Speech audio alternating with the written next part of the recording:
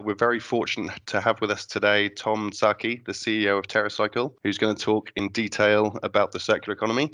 And the first up, we're going to look at the role of recycling in closing the circular economy. So, Tom, there's a common misconception that certain kinds of products and packaging aren't recycled because they can't be. Could you explain the reality and why it's important that people understand that recycling is actually a business? It's a very, very good question. I think this is a great framing for the entire concept of, uh, of recycling, which is really the, you know, honestly, the first step in moving uh, our current system into a circular economy. So while we look at alternative methods of filling, like reuse or other things, recycling really is the pragmatic step that we have to do at scale that is in front of us as society today. And typically, if you look at consumers, like citizens, the perception, I believe, is that recyclers are out there recycling what they can recycle, almost like a public service, like healthcare or education, you know, and, and doing what is right, and then you know funding that in perhaps taxes or some method of, of such. That's really the citizen perception. The corporate uh, perception, if I think about brands and retailers, I would distill it to be it's about the technical capability to recycle an object, like the R&D of the object. Is it possible to recycle it? And then is there available infrastructure to carry out that technical process? And I would argue that the real thing we have to focus on is neither of those assumptions, which is to say that you know recycling are for-profit businesses. You know, Veolia or Waste Management, these large organizations are for-profit companies whose mode or, or, or, or entire goal is to serve profit to shareholders. And so what really gets recycled is not what is technically recyclable, which is, mind you, just about everything, but what is profitable to recycle. And a good way to look at this metaphor is let's say you and I ran a junk company, you know, and we had a truck and we were running around, you know, doing junk services. And uh, let's say we went to an estate where maybe someone had passed away and the uh, the heirs are asking us to clean out, you know, the estate. You know, there's a bunch of stuff that, you know, we think is garbage. We put it in our truck, but then we run into a Steinway piano. We would probably look at each other and say, you know what? We're not going to throw that out. We're going to take it and sell it, right? It is about extracting value from our waste and if the cost of collection and processing is lower than the resulting value, we're going to extract it as waste management companies and go sell it. Now, the value can be subsidized through EPR, or the volume, this extended product responsibility, or the which is a form of tax, if you will, or the volume can be grown through DRS, deposit return schemes. But net net, that is the everything to look at if you then take that sort of mode and take a step back, what you realize is also there's been a lot of headwind, which is why recycling has been struggling over the past 10 years. You know, it's low oil prices have suppressed end market values for polymers. The end markets themselves have been much harder to access. You know, China and many other countries stopped the importation of waste. And then also the quality of our waste vis-a-vis how profitable it is for recyclers to bother recycling is diminishing because the entire goal of the packaging industry is to remove value, uh, remove cost, right? Um, make things lighter, thinner from cheaper materials. And that is wonderful because it reduces cost, even reduces the need of materials. But then as a recycler, you look at this stuff and you say, well, there's even less value in it than there was before. So why bother, you know, sorting it, collecting it, processing it, and so on and so forth. And I think if we hone on this central question that recycling is all about, you know, uh, or what will be recycled is not about technical or infrastructure. It has to do with can a garbage company make money? I think it really helps clarify the interventions we need to do and what we have to think about consistently. So, how do the recyclers make money from that then? Because obviously, what you're saying, I completely agree with, but how, like the whole process, how does it work? Yeah, absolutely. So, if you simplify the recycler's business equation, you have the economics of collection, you have the economics of conversion or processing, turning the waste into a sellable form, and then you have what you sell that material for. So let's just do a quick double click on each of those. Collection in collection, you have the cost of physically getting the waste from the point of origin, like a consumer's home, you know, sending a truck, picking it up. You have to take it to a facility, typically a MRF, a sorting center, and then you have to sort it into fractions that can be sold. In some cases, you get paid to do that, so there may be some revenue there, but nevertheless, you have that entire burden of getting the waste from the consumer to a sorting center and sorted. Then the second part is processing. Now, typically, the recycler itself or, the, the collector may not be the processor. You know, they may then sell it to a processor uh, or move it to a processor, but then the processor, uh, whether it's the same company or a different company, takes that sorted material and shreds it, melts it, in some way processes it into what one would call like a new material or a material that a manufacturer can use. And that's the output that is then sold to a manufacturer who purchases it and then makes products using some percentage of recycled content. Now, so if we zoom out of that equation, there is revenue in the material sale, there is cost in the processing, and there's cost in the collection and sortation. Um, uh, and so that is the simplified business model collection and processing versus value.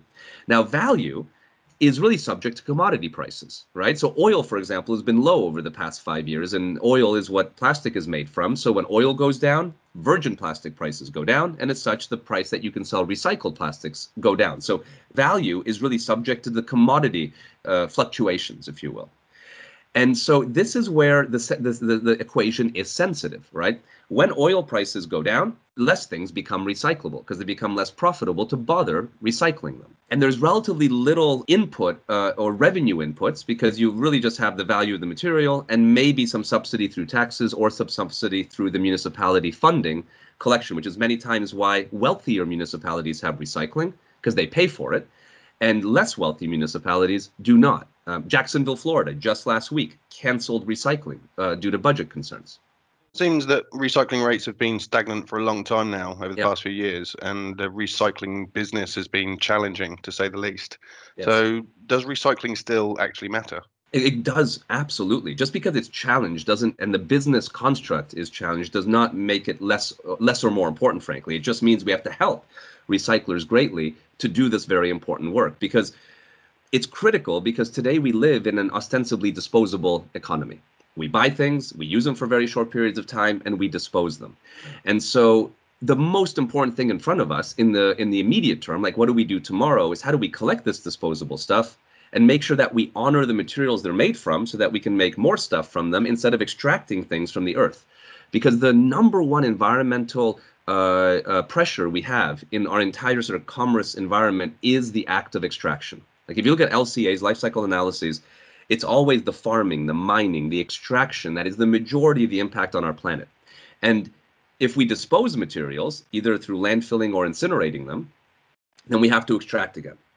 If we honor the materials by recycling them, then we reduce the need for extraction, which is why life cycle analyses show that recycling is typically 50 to 75% better for the environment from a carbon point of view than is than it's a landfill or incineration destruction outputs, right? Linear outputs. Mm-hmm. Now, so it's critically important. There's this, you know, sort of misconception, if you will, and I think, you know, that uh, that recyclers and waste management companies are somehow morally you know obligated to like do the right thing with the waste right? Like that you know and, and I, th- I think sort of you know we, we feel that but they're not right? They are there to serve their shareholders and make money. So they're really only going to collect and sort what they can make money at. And this is so important that we understand that we have to feed the garbage stream what recyclers want not be like hey recycler why aren't you recycling this object? Which they had no opinion on when it was created right? So to you know to, here's a good example. In, in the uk tesco famously banned just a, a, year or two ago the ability to sell biodegradable uh, packaging in their stores. They have banned it full out, right? Uh, very brave and did it very publicly. Other companies have done similar things, but very privately and quietly. But Tesco, to their credit, did it loudly. So then the question is why? And this goes to the same fundamental question: is biodegradable packaging is absolutely true. It will biodegrade, right? It is exactly as advertised in the right settings. Industrial composting for industrially biodegradable or home, if it's home, absolutely will do. There's no, there's no manipulation there. But composters in the UK don't want it.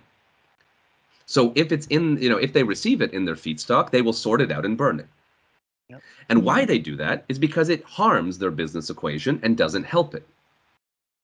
And this is the everything that we have to think about is it's not that the waste management industry is responsible to recycle everything we produce is that we have to incentivize and make it uh, profitable for them to bother doing it. And we can do that by what we feed the waste higher quality valuable materials or we can subsidize it but we have to somehow create the money flows. So going on from that what is the role of recycling in the circular economy yeah, it's. I think if you think about the, the the the first step from linear to circular, you know, linear is like take, make, waste, right? Um, uh, insert the first step of turning a linear system because it's not just about inventing new systems, right? It's really about converting current systems from linear to be progressively more circular. And so, in a take, make, waste system, the most important thing is that when the object becomes waste, that instead of it being destroyed, that the material can be recovered, and that's exactly what recycling is. That's why it is ostensibly not a perfect solution, but the most important solution to scale today, no question. From there, we then need to go one step further uh, and think about how do we make sure that the companies are also a market for recycled content, not just making sure the object is recyclable, but that they're pulling and demanding recycled content to make their products. And then when we have that going, that is a recycling, a circular economy based on recycling, we need to challenge ourselves on how to tighten that circle and have fewer steps and less impact, which would be perhaps moving from disposable systems to reusable. And then it's important to keep the white elephant in the room, of course, which is none of this is the answer to fundamental sustainability. We the fund the the actual question we have to think about is then how do we modulate down our volume of consumption because we, sh- we shouldn't be mistaken that circular economy is not intrinsic sustainability. Circular economy just means that we are not producing waste and we are allowing the material to go around and around. But having any material go around, whether through recycling or through reuse or new models, is some level of impact. And so we also have to really think about how do we modulate our net impact downward by buying less. That is so important we don't lose sight of that because we can't circular economy our way into full sustainability where we're in balance with the world. Fantastic, thanks. If we, if we move more, Tom, onto the role of recycled content within closing the circular economy. Um, so if we move from the process of recycling to the materials it actually produces, what is the role of recycled content in closing the circular economy? We talked just earlier about this concept of like, is the object one makes recyclable, right? And that has to do with what we've already discussed. But what happens with that recycled material? And today in recycling, most of it would be what experts would call downcycling, right? It goes from a high quality material to a lower quality output. Pragmatically, that would be like turning a shopping bag that we maybe we drop off at our local supermarket into plastic lumber, which is where it goes. Now, that's that is recycling. It's really important. It's really good, but you're moving from a high grade material to a low or a high grade application to a lower grade application. Now, please note, you know, many times the word downcycling has super bad branding to it. Down, it feels negative, and so on. So people many times like to sort of, you know, um, degrade it and say that it's not really recycling. But let's be clear, it is most of what recycling is. And all materials degrade to some degree. Paper is a wonderful example. Paper can go basically through seven cycles, right? Uh, because what happens every time you recycle it, the fiber length shortens. And so you can go from bright white paper to maybe corrugate to maybe newspaper to maybe toilet paper. And what happens is the fiber length keeps diminishing, and at some point you can't form paper again. Paper uh, would have about seven cycles uh, capable. Plastics, you know, maybe 15 to 30. You know, glass much more, alloys much more, but it always is somehow going in a downward direction. And so what is so important is that the companies that are especially are producing high grade outputs are pulling material right? And really focusing on how do we keep it at the highest grade application for as long as possible. And that has to do with demanding recycled content. Now, there is a white elephant in the room here, right? Uh, as in many of these topics, right? Which is that in recycled content, everyone out there has made these incredible pledges that are due in 2025, right? I mean, that's three years from now. And by the way, massive headwind to the recycling industry during this whole time, you know, low oil prices, things we already talked about, and, and markets and whatnot the total amount of demand that is stated for a material type like PET, like a soda bottle, you know, uh, substrate, is 10 times the available supply today. And the supply is not dramatically increasing. And the reason there's this huge delta between demand or stated demand and supply is because we are all hunting for, or all the manufacturers are hunting for the same material, which is recycled content that behaves characteristically in price and, price and performance like virgin content. Mm-hmm. So, and this is because we design our products from a virgin mentality. Right? What, what that sort of means, if I'm making a shampoo bottle for a company, I'm going to figure out how to make the coolest, uh, most amazing shampoo bottle from virgin plastic because that's how every designer does it you know and think about the characteristics like how thick it can be how well it can squeeze what the price is and then my company wakes up as many have you know wonderfully and says now i need to make that same shampoo bottle from recycled material. Well i already have my molds my run times and all this stuff so i'm now going to look for recycled content that i can plug and play into the mold that i made you know thinking of what virgin plastics can do.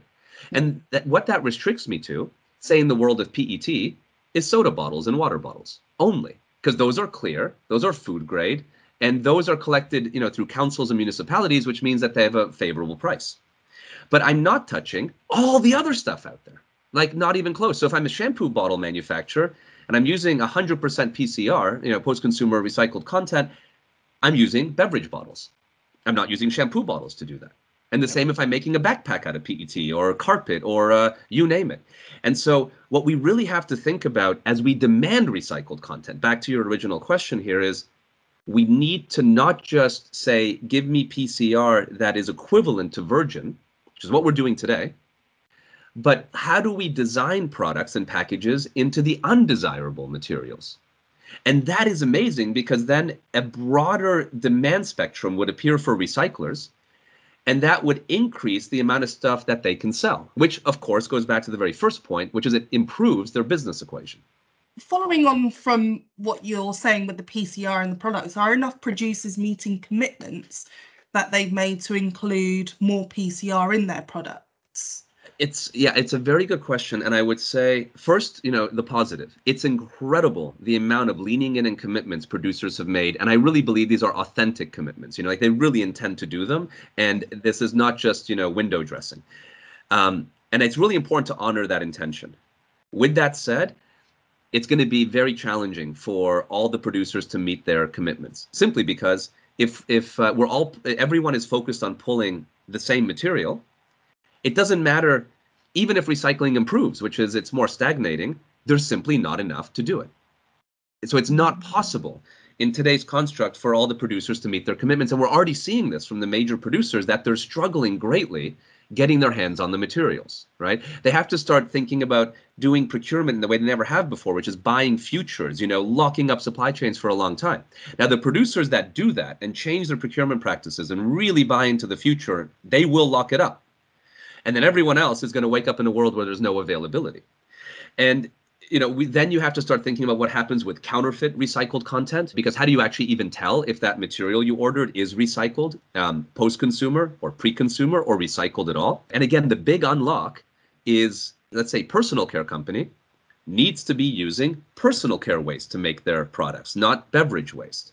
Uh, backpack companies or t-shirt companies who make you know rPET fabric need to be using textile waste to make those products right? It would be then it could balance but but that's not happening right now it's all pointing towards the beverage industry being the input for everyone's recycled material and so it can't possibly get the volumes that are needed so that being said, Tom, are there any other materials out there um, with the same properties as PCR which could be used instead? So, so yes, right. But the characteristics and the economics. So, characteristics being like material characteristics, like what mm-hmm. color comes out at the end, uh, what can it be made into, and so on are different and require very different and I think courageous design, right? Like it, it's not going to be at the beginning. It's going to be like, gosh, I have to make this wonderful gourmet, you know, uh, meal out of out of slop, right? Like that's how it's going to feel. To and it's going to be more expensive, right? Like think here, here's a good example. Take you know clothing, right? Today Mo- the majority, I think it's around 60% of the clothing in the world are hybrids, right? Polymers hybridized with natural materials. Like a stretchy t-shirt is some cotton and like let's say nylons or some other form of, you know, material. Now, could you, you know, get say recycled nylon, right? You can, but you have to start with a pure nylon source. But then that t-shirt when it hits its end of life is not deconstructed back into a new t-shirt. You see the issue, right? That means that the the apparel industry cannot be its own recycled input source. They have to pull from other industries. And as long as this happens, you get a fundamental imbalance. Terra, TerraCycle has also become known as a leader in the reuse movement. So could you tell us a bit about Loop? I say this as a recycling company where TerraCycle's first two major divisions are collection and recycling, typically of hard to recycle materials like you know everything from cosmetics to diapers and helping companies integrate recycled content into their products, what we've been sort of chatting about now. Now, that gets us to a circular economy based on recycling. That's a relatively big loop, and there are some of the challenges I described vis-a-vis downcycling or you know the material moving through industries but not staying necessarily in the same loop so if you looked at a recycling loop in a two-dimensional form it would look like a circle but I would argue that you would want to actually rotate it on the third axis and into a third dimension, and then it looks like a corkscrew, right? In other words, as it goes around, it doesn't go back into itself. Like it starts here, it goes around, and it's here now. Then it goes around and it's here now. And that's what we mean about this sort of moving through industries or downcycling or, or whatever um, uh, a synonym we may want to put against it. So we thought a lot about, well, that clearly is not the fundamental answer to waste, right? It's, it's what has to scale today, no question. But it's not the fundamental answer. And that sort of led us to, well, what is the root cause of waste? And we landed on the hypothesis that it's the concept of a throwaway culture, disposability, single use, you know, this sort of thing. And this is a new concept, right? It's so important to honor that it's only around since the 1950s. There's people, you know, who are, let's say, our grandparents who lived in a world or born in a world where we cobbled our shoes mended our clothes, you know, bought milk from the proverbial milkman and lived you know in a world where we valued these things and they kept getting reset repaired refreshed cleaned you know those sort of things. And we didn't really have waste in the way we have it today. I mean really if you look at waste it's a 1950s invention and it's exploded since then. Okay so if disposability or single use is the issue then we did a lot of research and wondering well what does the reuse movement really need right? Because there's wonderful companies that are coming up with refill stations, and uh, you know, you get a bottle at home, and then you get concentrate and you fill it, right? There's lots of that happening. So another one of those, I'm not sure is going to really create um, a fundamental shift. But what we realized is that in the world of reuse, there's a challenge right now, which is that all the ways you can experience reuse are what one would call mono supply chains. Here in the U.S., my propane tank for my barbecue is reusable. Right? It doesn't get thrown out; it just gets refilled with propane a beer keg that I may also buy for my barbecue is reusable. be a wonderful barbecue, mind you. You know, um, is reusable. It's steel. It's great. It just gets cleaned and filled up with new beer. But when those two objects are empty, I can't take the propane tank to the beer store, and I can't take the beer keg to the propane tank place. I have to stay in my lane.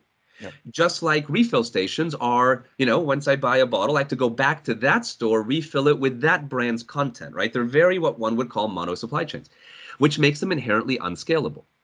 In you know if you wanted to live your life with thousands of products right? Because how can you remember where thousands of products you know have to go?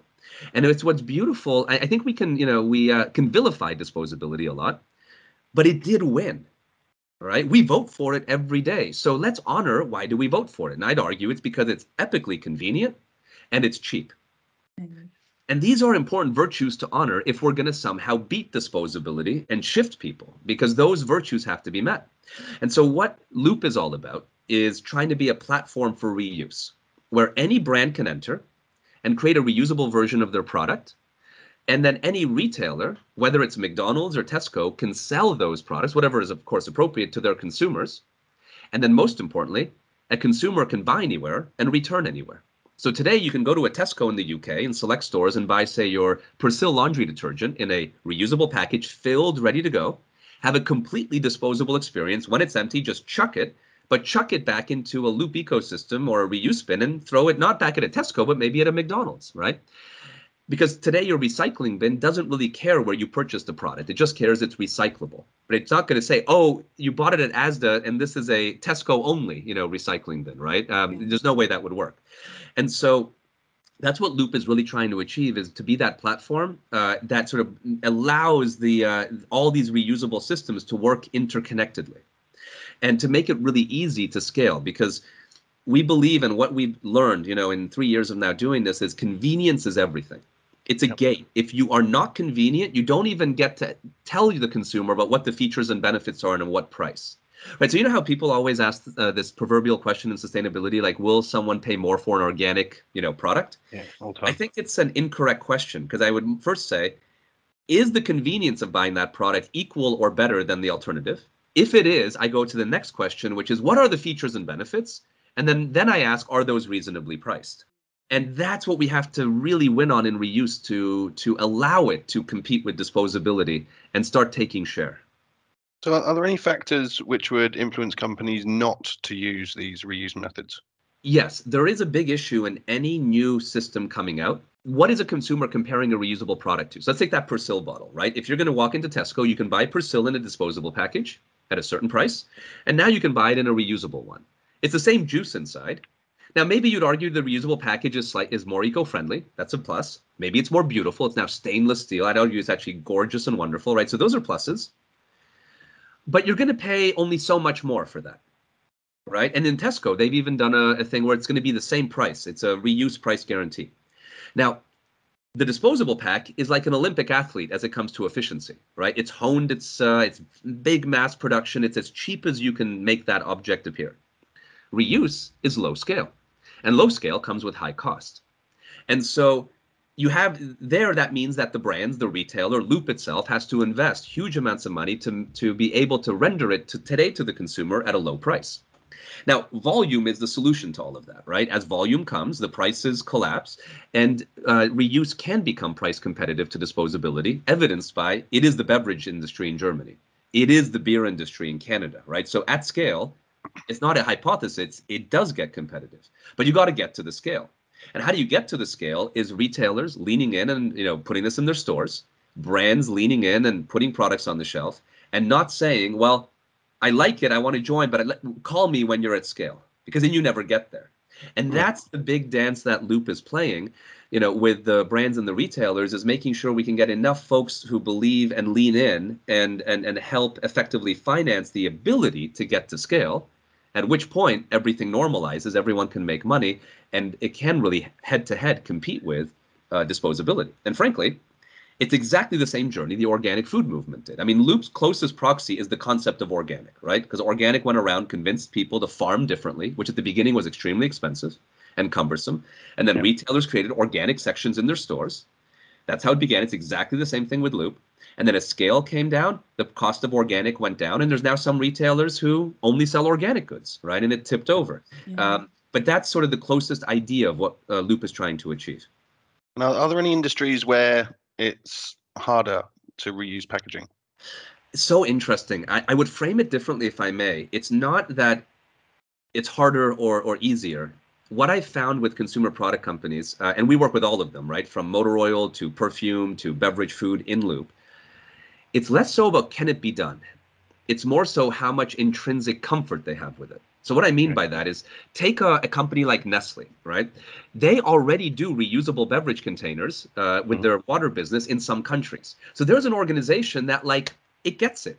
What does that mean is that it makes it more confident for their baby food division, their pet division, you know, to feel confident that they can get there because internally they can call up internal stakeholders and be like, "How do you do Perrier reusable in uh, in uh, uh, let's say Germany?" And they go, "Exactly. Here's how it works. Here's what's," and then, then they get all the confidence.